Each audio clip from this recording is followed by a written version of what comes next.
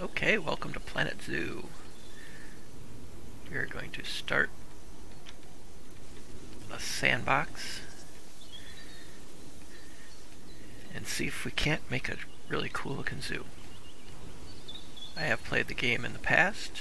What I'm going to do is I will, as I'm building, I'm going to do a time lapse so that you don't have to sit through every phase of the the building process. So here we go.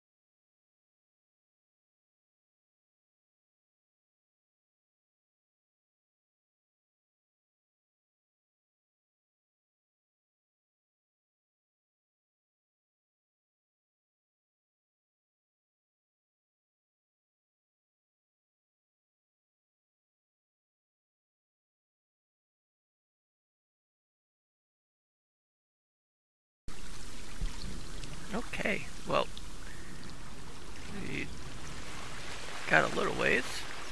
I last thing I set up was this water treatment outside the fence. I need to still connect a service path to it and get it to where it's not floating above the ground.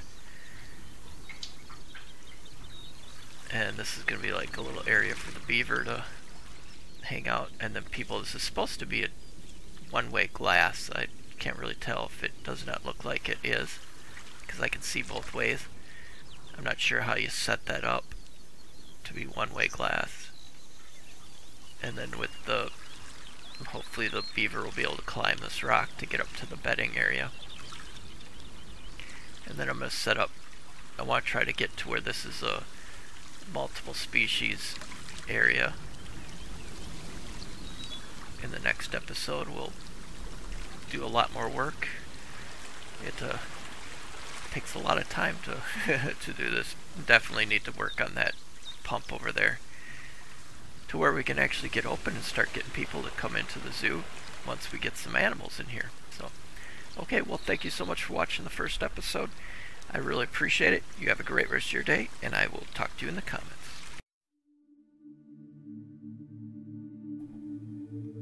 Well, thank you so much for stopping by and watching one of my videos. If you're new to the channel, don't forget to hit that subscribe button and the bell icon so you know exactly when the next video comes out.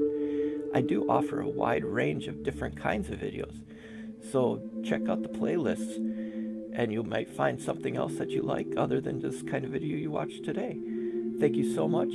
Comment down below what you thought or just say hi. Have a great rest of your day.